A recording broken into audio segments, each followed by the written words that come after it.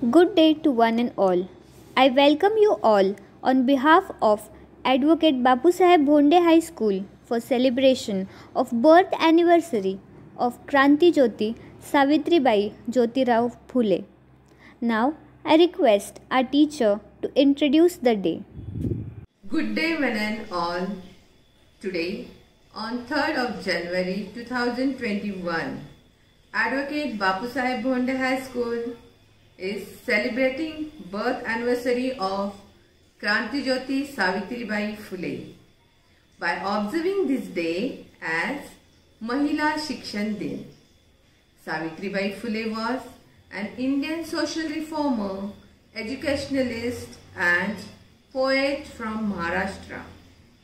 She is often been considered the goddess of education and a true symbol of women empowerment.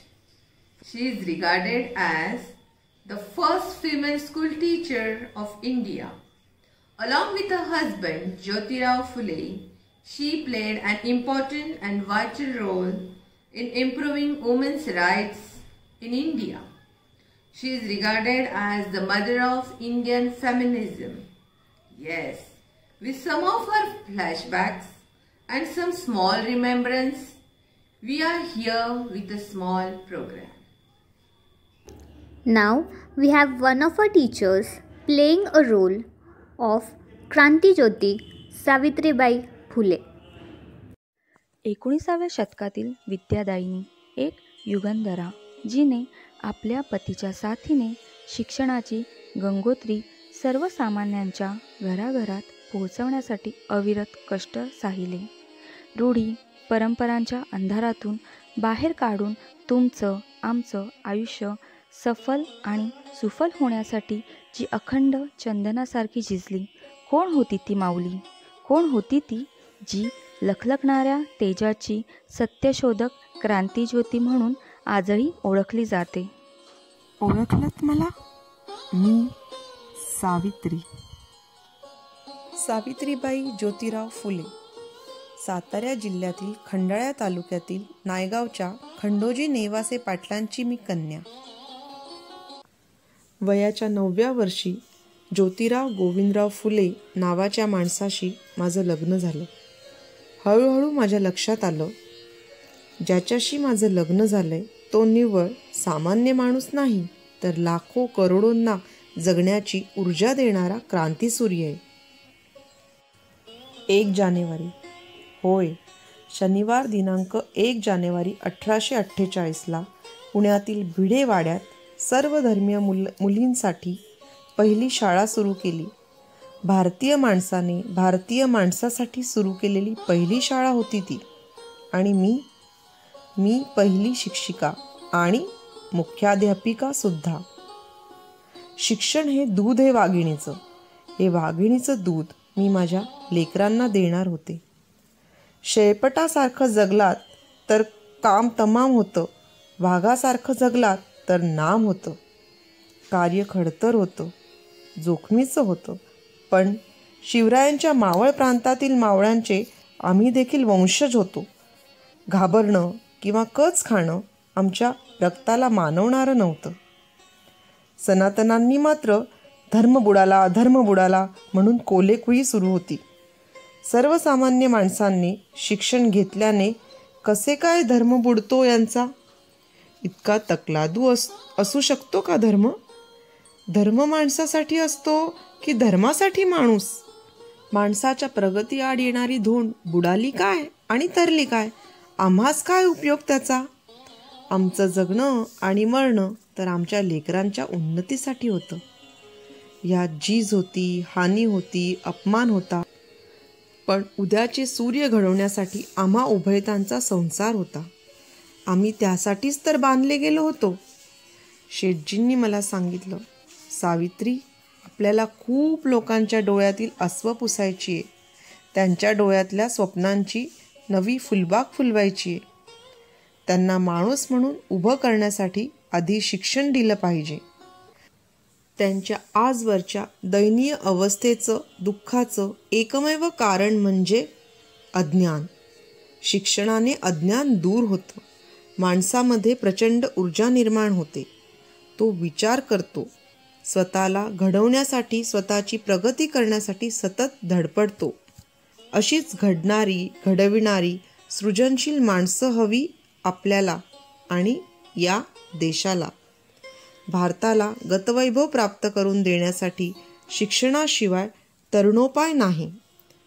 आणि सावित्री याचसाठी आपल्याला शिक्षण द्यायचे उद्याचा सूर्य घडवण्यासाठी आपल्याला काम करायचे देशील मला साथ? मी निव्वळ होकार दिला नाही तर प्रत्यक्ष सुरुवात केली. नेहमीप्रमाणे शाळेत शिकवायला जात असताना अचानक एक धटिंगड माझ्यासमोर आला. म्हणाला ए टवळे कुठे निघालीस?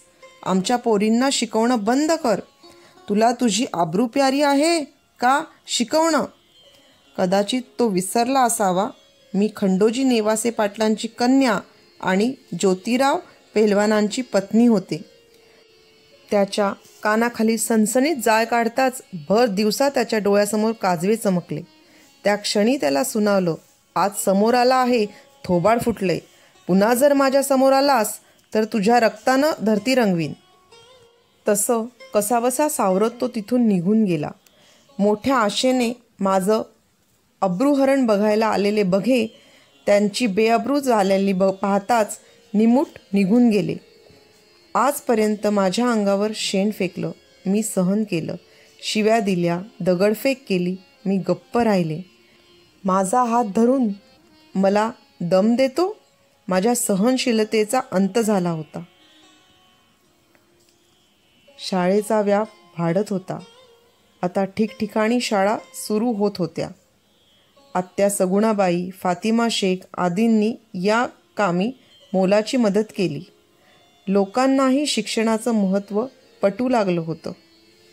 तपासीला आलेले मेजर कँडी व जॉन वार्डन या इंग्रज अधिकाऱ्यांनाही शिक्षणाची प्रगती खूप भावली. स्त्री कोणत्याही जातीची धर्माची असो अन्यायाची बळी नेहमीच ठरली आहे अहो एखाद्या बाईचा नवरा मयत झाला म्हणून काय तिने सती जायचं? केशवपन करून तिला बोडगी करायचं? तिला एकाच खोलीत डांबून ठेवायचं? अहो नवरा गेला हा तिचा दोष कसा असू शकतो? प्रत्येक माणसाला जगण्याचा बहरण्याचा अधिकार आहे. आम्ही त्यासाठी आवाज उठवला. इंग्रज सरकारने सतीबंदी कायदा केला. केशवपनाविरुद्ध नाव्यांचा संप घडवून आणला. आम्ही बालसंगोपन गृहाचीही व्यवस्था केली. शेटजींच्या प्रभावामुळे मी रचना करायला शिकले. काही भाषणं व गाण्यांची निर्मितीही मी करू शकले. शेटजी आम्हाला सोडून गेले. घराघरात ज्यांनी प्रकाशाची फुले वाटली तो धगधगता क्रांतीसूर्य त्या धगधगणाऱ्या अग्निफुलांना मध्ये अदृश्य झाला. शेटजींची आठवण सतत येत होती. मन कष्टी शरीर जड वाटत होतं. पण शेटजींनी सांगितलेल्या मार्गाने मी माझी वाटचाल सुरूच ठेवली. मोडलेल्या मनाला पुन्हा उभारी दिली. पुण्यात प्लेगची साथ सुरू होती. आम्ही हॉस्पिटल उभारलं. व खूप लोकांची मदत केली. प्लेग हा संसर्गजन्य होता. आज ना उद्या तो मलाही होणार होता. पण म्हणून मरणाच्या भयाने मी माझ्या कार्यापासून माघारी वळू. आम्ही जगलोच मुळी समाजासाठी. तेच करत असताना मरण येणार असेल तर मरणा तुझं स्वागत आहे. नुसती हूल देत बसू नकोस. हे बघ मी तुझ्या समोर आहे. तुला माहिती आहे सावित्री सावित्रीची सावित्रीबाई झाली आणि सावित्रीबाईची सावित्री माई. ही स्थित्यंतरं आहेत माझी. माई अगं शेवटचं एकच इंजेक्शन आहे. कोणाला देऊ? यशवंताचा प्रश्न होता. मी म्हटलं यशवंता या लेकराला दे. या लेकराने अजून नीट दुनियाही पाहिली नाही. माझी शेवटची इच्छा समज. अरे मी म्हटलेलं झाड कधीतरी कोसळणारच. माझ्या आज्ञाधारक यशवंतानं माझी आज्ञा पाळली. अश्रूंनी डबडबलेले डोळे माझ्या लेकरांचे मी पाहिले. पाहिलं स्मरणा फक्त एक मिनिट माझ्या सगळ्या सहकाऱ्यांना आठवते. शेठजी आलात तुम्ही? यशवंता बघ मला न्यायला कोण आलंय. शेठजी आलात तुम्ही? अखेर बुधवार दिनांक दहा मार्च अठराशे सत्त्याण्णव रोजी ज्ञानदीप आपल्या सगळ्यांच्या हाती देत क्रांतिज्योत Nimali. Now we have our teacher giving a brief lecture on Kranti Jyoti Savitribai Phule. Savitribai Phule, because of whom we have books in our hand and we are pursuing education. Today, 3rd January, birth anniversary of Savitri Bai Phule. I am here to share few things about her. I would like to start with the introduction part. Children, Savitri Bai Phule was the first female teacher of India. She also served herself as the social reformer, anti-abortionist, poet in India. She belongs to the Maharashtra region. Yes, now let's talk about her early life. Savitri Bai Phule was the eldest daughter of Lakshmi and Kandoji Nivase Patil, both of whom belonged to the Mali community. Savitri Bai Phule was born on 3rd January 1831 in Naigaon. It is situated in the Satara district in Maharashtra. When she was nine, her parents made her marry Jyotirao Phule, who was two years elder than her. The couple had no son of their own, but after some years, they adopted the child Yashwant Rao. The child was a son of Brahmin widow. Yes, we all are aware about her career. I would like to highlight some. Savitri Bai was a lucky woman, though she got married to Mahatma Phule, who was understanding man. Mahatma Phule taught his wife to write and read. This made her unique woman of her time. As in the era, no importance was given to girls' education. Savitri Bai Phule always wanted to change the situation of women, so thought of distributing education to other girls, and so she became the first female teacher of India. With the help of her husband, Savitri Bai Phule opened a girls' school in Bhidewada in Pune. Throughout her life, Savitribai and Jyotiba Phule opened 18 schools for girls. Yes, now the part which I am going to share is quite hurting, but we have to accept the reality. There was a third pandemic plague spread in the area, and Savitribai, along with her adopted son Yashwant Rao, opened a clinic for the sick or affected people with the plague. While Savitribai was serving the affected patient, she got contaminated with the disease and on 10th March 1887 she took her last breath. But her story doesn't end here, children.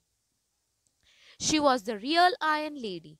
She holds the courage to fight for girls' education and Sati system. A great salute to a great lady. But how can we forget her words? She wrote, ज्ञान के बिना हम जानवर बन जाते हैं इसीलिए खाली ना बैठो जाओ जाकर शिक्षा लो दमितों और त्याग दिए गयों के दुख का अंत करो सावित्री बाई and Jyotira Phule contribution towards girls education is remarkable. I am here to share more few things about her. Not only did she become the first female teacher in the country, but she even set up 17 more schools. She, along with her husband, Jyotira Phule, founded the first girls' school in Pune, which was run by the native Indians. She was actively involved with the lives of students and regularly conducted meetings with parents to emphasize the importance of education for girls. Yes, she had too many struggles in her life. Like Savitribai's struggle was fraught with many difficulties, and despite that, she continued her work peacefully. Men would purposely wait in the streets and pass lewd remarks. They sometimes pelted stones and threw cow dung or mud. Savitribai would carry two saris when she went to school, changing out of the soiled sari once she reached school, which would again be soiled on her way back. And yet she did not give up. The guard who was then appointed for her wrote in his memories about what she would say to those men. As I do the scared task of teaching my fellow sisters, the stones or cow dung that you throw seems like flour to me. May God bless you. Yes, here are some of her writings. Savitri Savitribai Phule's poems and her other writings continue to be an inspiration for many and remain pioneering in the struggle against India's caste system. She has put together some very valuable writings like Kavya Phule, collection of poems 1854, Jyoti Rao speeches edited by Savitribai Phule 25th December 1856, Savitribai's letters to Jyoti Rao, speeches of Matoshri Savitribai 1892, I would like to give a humble tribute to Savitribai Phule, a champion of social reforms, a pioneer of women's rights, and a visionary far ahead of her times. On her birth anniversary, let's pledge every girl has right to learn and educate girls. Yes. Before going to an end, I would like to explore her words. Awake, arise, and educate. Smash traditions, liberate. Thank you. Now we shall see some moments captured of the program held in the school.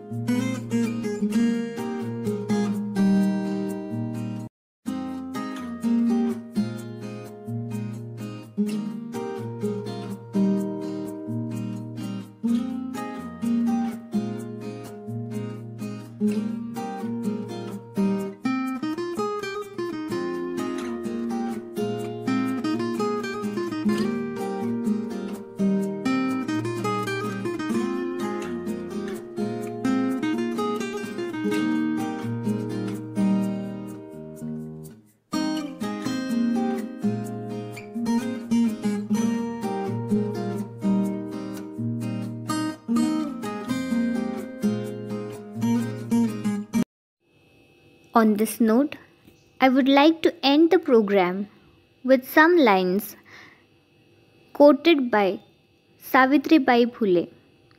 Go, get education, be self reliant, be industrious, work, gather wisdom and riches. All gets lost without knowledge. We become animal without wisdom. Sit idle no more Go, get education. End misery of the oppressed and forsaken. You've got a golden chance to learn. So learn and break the chains of caste. Throw away the illiterate thinkings fast. Thank you.